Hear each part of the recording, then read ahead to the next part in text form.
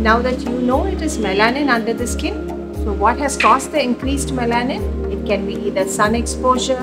it can be hormonal influence, or it can be just age related or genetically determined, or maybe due to any kind of skin injury or inflammation like acne or any uh, eczema or any irritation or something like a scrub or rubbing too much on the skin.